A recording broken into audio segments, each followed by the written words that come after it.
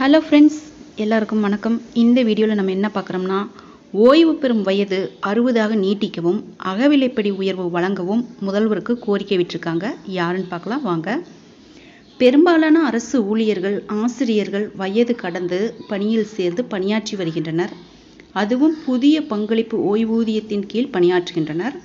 இவர்களின் வாழ்வாதாரம் என்பது கேள்வியாகிவிடும்.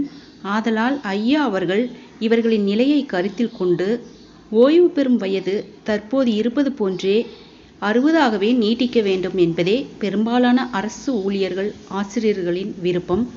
ஐயா அவர்களின் கவனத்திற்கு பணிவுடன் தெரிவித்துக் கொள்கிறது. தமிழ்நாடு அரசு ஊழியர்கள் ஆசிரியர்கள் நல கூட்டமைப்பு. அடுத்தது என்னன்னு பார்த்தீங்கன்னா கொரோனா காரணமாக ஒன்றிய அரசு ஊழியர்களின் அகவிலைப்படி உயர்வை கடந்த ஒன்றை ஆண்டுகளாக நிறுத்தியது. ஒன்றிய அரசை பின்பற்றி அப்போதைய அரசும் தமிழ்நாடு அரசு ஊழியர்கள் ஆசிரியர்களுக்கும் அகவிலைப்படியை ஒன்றை ஆண்டுகள் நிறுத்தியது.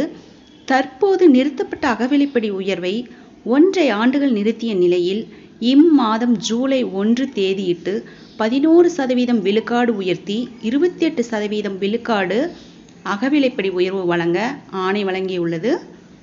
இதனை பின்பற்றி தமிழ்நாடு அரசும் அகவிலைப்படியை உயர்த்தி உத்தரவிட மக்களுக்கான மகத்தான மாண்புமிகு தமிழ்நாடு முதலமைச்சர் அவர்களை தமிழ்நாடு ஊழியர்கள் நல கூட்டமைப்பு நிறுவன தலைவர் சா. அருணன் கேட்டுக்கொண்டுள்ளார் ஃப்ரெண்ட்ஸ் இந்த வீடியோ உங்களுக்கு பிடிச்சிருந்தா என்னோட சேனல் சப்ஸ்கிரைப் பண்ணுங்கள் லைக் பண்ணுங்கள் மற்ற நண்பர்களுக்கும் இந்த வீடியோ ஷேர் பண்ணுங்கள் நன்றி வணக்கம்.